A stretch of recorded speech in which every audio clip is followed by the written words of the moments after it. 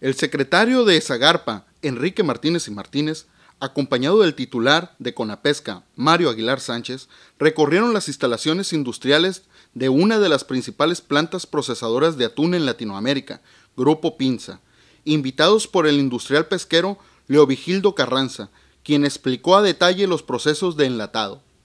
Luego de participar en la visita del presidente de México, Enrique Peña Nieto, al buque de investigación pesquera y oceanográfica BIPO, los funcionarios federales acompañados del secretario de Zagarpa, Jesús Aguilar Padilla, así como del diputado federal Alfonso Insunza, presidente de la Comisión de Pesca de la Cámara de Diputados, entre otros, efectuaron el recorrido por la moderna planta industrial. Leovigildo Carranza les explicó de manera detallada el proceso de elaboración y enlatado del atún,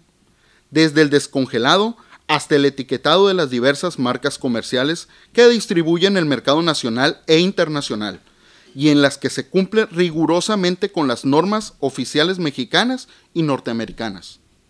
Con orgullo, el empresario mostró al secretario, al comisionado y demás invitados el registro de patente de marca Dolores en Estados Unidos, fechado el 22 de diciembre de 1942 y revalidado el 2003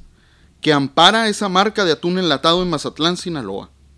Al comentar que Grupo Pinza está integrado en el acuerdo sobre el Programa de Conservación Internacional del Delfín, el industrial atunero dijo que el consorcio tiene, entre otras filiales, la de Pesca Azteca, que constituye la flota más importante en el Océano Pacífico Oriental para captura de atún aleta amarilla,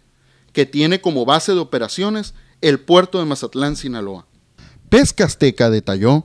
cuenta con modernas embarcaciones que navegan y operan por control satelital con el más sofisticado equipo electrónico de comunicación marítima y tecnología de punta.